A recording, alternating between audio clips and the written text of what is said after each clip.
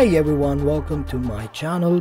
Today we are going to train and classify traffic signs using convolutional neural networks. This will be done using OpenCV in real time using a webcam. In this video we will train traffic signs with over 35,000 images of 43 different classes with the help of TensorFlow and Keras. By the end of the video I will be sharing information that will help you classify your own dataset information such as how long does it take to train, how much data of each class is required to have a good classification model. So stay tuned.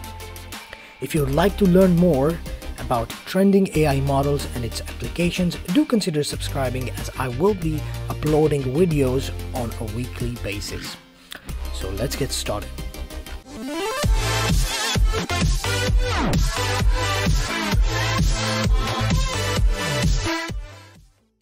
So once you have downloaded the GitHub repository, you will see something like this.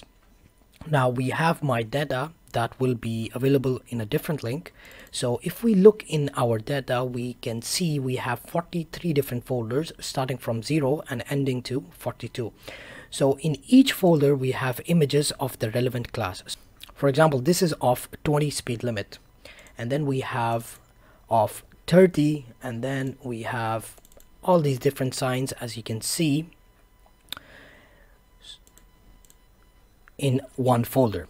Now in the labels we have the names of these classes. So what we have seen back is the IDs 0, 1, 2 till 42 but in our labels we have the name of each ID. So 0 represents speed limit of 20, whereas 14 represents stop and so forth. Now, the model trained is basically the file that has all the information for the classification. So once you have trained your model, you will get an exported file that will be model trained.p. This is a pickle file that we will unpickle in our testing code and run it as a model.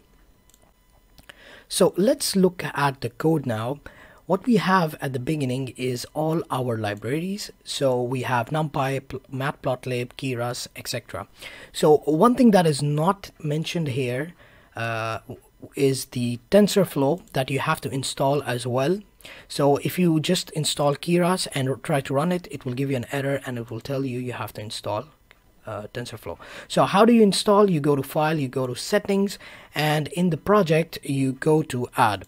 So whatever is missing, whenever you get a red line, which means it is missing, you can type in here, for example, Keras, and you can press on install package. So this is how you will install each one of these packages. So once that is done, we have our parameters. Now in the parameters, the first one is where your data is stored, the folder in which it's stored. So in our case, we have my data as the folder name.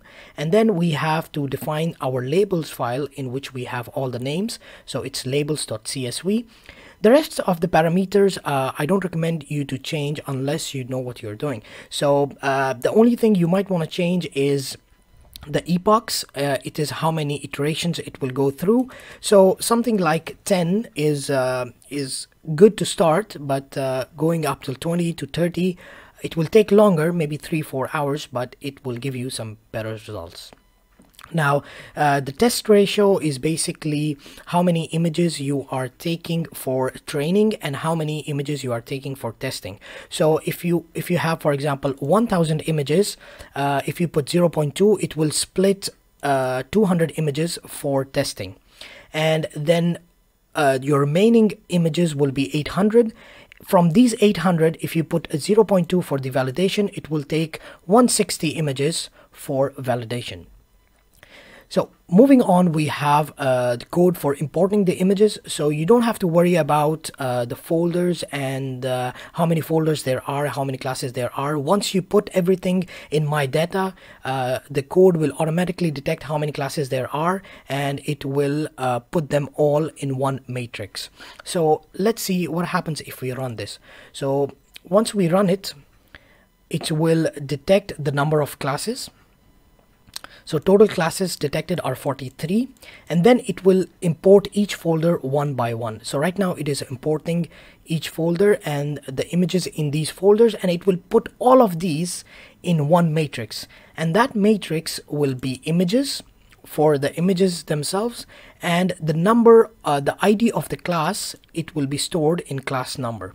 So every image will have a corresponding id that will be stored in class number so moving on we will split our data once we have uh, let me stop this so once we have our data we can split it into our test and our validation uh, using the parameters that we have defined before so one thing to note is that your data is stored in xtrain, xtest and xvalidation. So all of these are basically array of images uh, that we will use later on.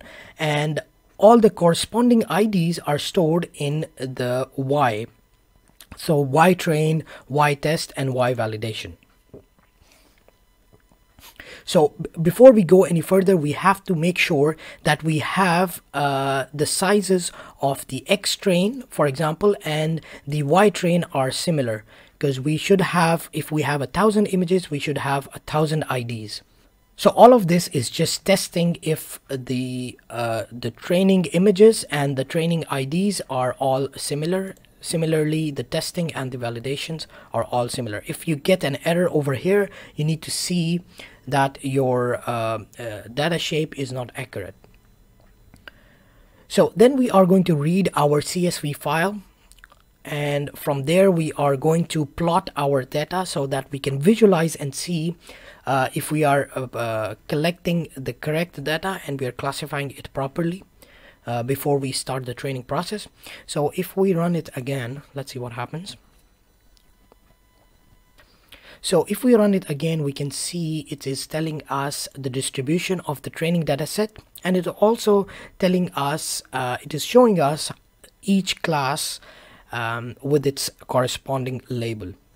Now at the bottom here you can see that we have about 22,000 images for training, uh, around 5,500 images for validation and about 7,000 images for testing. And the data shape should be same 32 by 32 by 3 which means 3 channels and this is the Y uh, labels, not the labels, the IDs that correspond to each image. So if we have 22,000 images, we should have 22,000 IDs uh, that correspond to where it belongs. Here, this is important to see that we do not have the same number of images for each class. So here you can see we have about a hundred images for the first class and then we have about 1300 uh, images for another class. So the distribution is not even.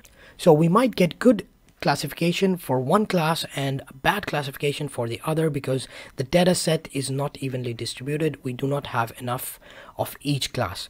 So we are going to learn at the end of this video how much uh, data set is required to have a good classification.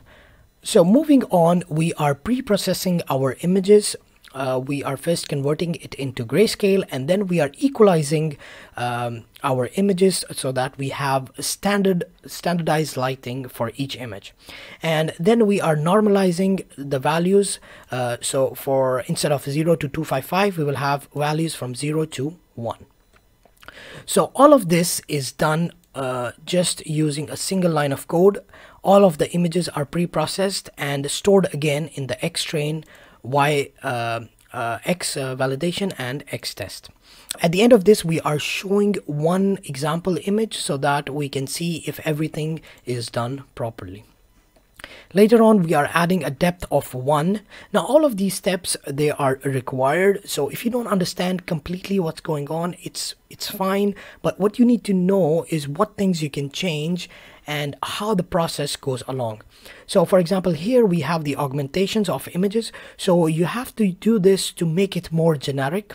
So we are rotating the images, we are shifting it left, right, we are zooming it in so that it makes uh, a different data set and it is more generalized rather than having plain images. Then at the end of it we are going to create our model so our convolutional neural network. So we are using the LeNet model but we have modified it a little bit. Now if you are familiar with how to create models and you want to add your own you can do it here. But uh, here we have a few convolutional layers and then we have a few of the pooling and we have a few dropout layers. And at the end we have our dense layer uh, which is our output layer and then we will simply compile this model.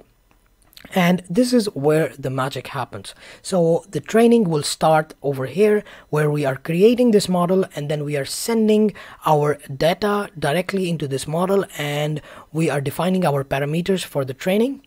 And then at the end once the training is done it will show us our plot. Now in the plot we are plotting the loss and the validation loss and we are plotting accuracy and the validation accuracy and at the end we are testing using our testing data set and we are exporting our score so by the end of it we will store the model that we have created into a pickle object so that we can use it later on um, in, in real time using uh, our OpenCV functions. So let's run it and see what happens. So once you start the process, again, it will import all the classes. Once the classes are imported, it will show us the training, validation, and testing data shapes and it will show us the distribution and it will show us some sample images. So what you need to do is you need to close them and then it will show us the augmented images and it will show us the uh, pre-processed images as well. So here you can see our images are zoomed in they are stretched out and rotated. So once it's done it will show us uh, the details of the network and then it will start with the training process. So by each iteration it will show us how much accuracy and how much loss we are getting. So here you can see and it will also show you the estimated time so we have about 10 epochs and this is how much it will take to finish one epoch so we have about five minutes for each so it will take about 50 minutes to train this model so once it's completed, you will see something like this. We have the plot for loss and we have the plot for accuracy. And we can see that we are getting fairly good results. Now I have used 30 epochs and uh, you can see after a while, after about 15 epochs, uh, it's pretty much um, going at the same level so probably 10 to 15 epochs would be a good estimation of where you want to land so let's look at the exact values. So here we can see that our accuracy is 0.97 uh, which is fairly good. And uh, then we have uh, the training loss which is 0.09 which is again fairly good.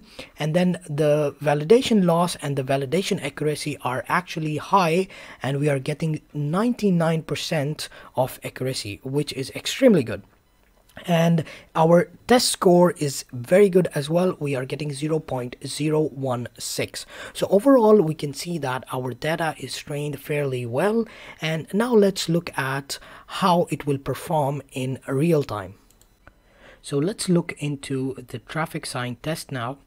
So we have our libraries and then we have our parameters. In the parameters the most important one is the threshold.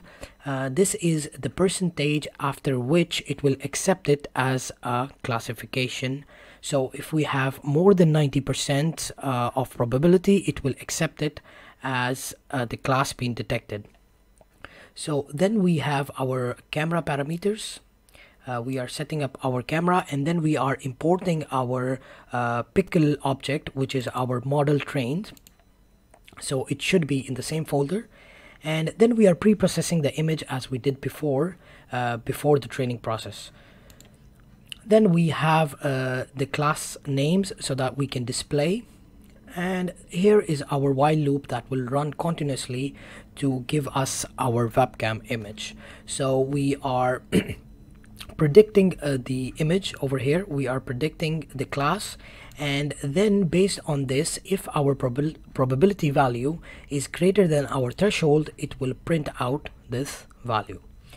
Now let's see how that works.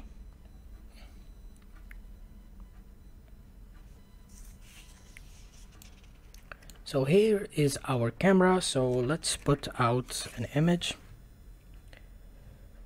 so here we can see this is our class 9 and it says no passing which is correct. Uh, let's try another one. This is class 1 where the speed limit is 30 kilometer per hour which is correct again. So this is the example of 20 kilometer per hour and as you can see the probability is not very well so it's not detecting very accurately. And uh, it's ranging from 70 to 80 percent and it's flickering quite a bit. So let's see why that happens. So if we open up our distribution data so class number zero is only about a hundred images. So that is the reason why it's unable to detect it properly. So what is a good value of detection? How many images do we need at a minimum to have a good detection rate? So based on this data set uh, you can determine that uh, class number 14 which is our uh, stop image has about 500 images which gives us good results. So anything below 500 it gives us a little bit of results. It's not as accurate. So anything above uh, 500 should be a good place to start. So for images such as uh, class 1, 2 and 3 we should have high detection rates with high probability because they have a lot of data. So for this example we have 120 kilometer per hour which is class number 8 if we see class number 8 we can see we have almost 800 above images. So this means that our uh, our training model was able to classify this properly was able to learn it very well. So you can see we have a hundred percent probability that this is a 120 kilometer per hour uh, image. Now again uh, I would say that a threshold would be 500 so if you have 500 or above images that is a good place to start. So as you go further it will be getting better and better but anything below 500 you might face some difficulties. So this is it for today's video. In the next video we will get our own data and run it through a convolutional neural network to see how that performs. So stay tuned for that and i will see you in the next video